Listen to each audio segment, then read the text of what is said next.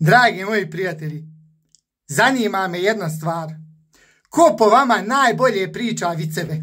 One naše stare, dobre, jugoslovenske viceve.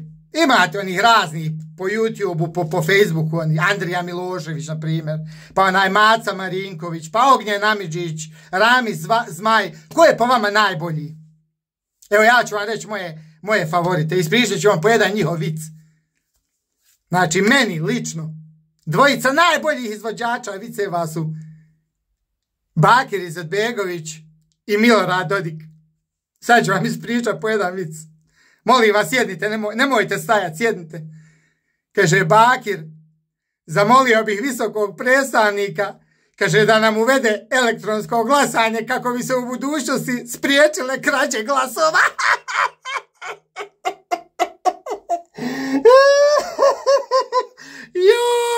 Meni je taj vic, ja sam se smijao od vata. Kaže, bakar da se smiješi i građe glasu. Uh, uh, da mi ispričam jedan od ovog Duduka. Kaže, Duduk, ono spaljivanje glasačkih listića je montirano.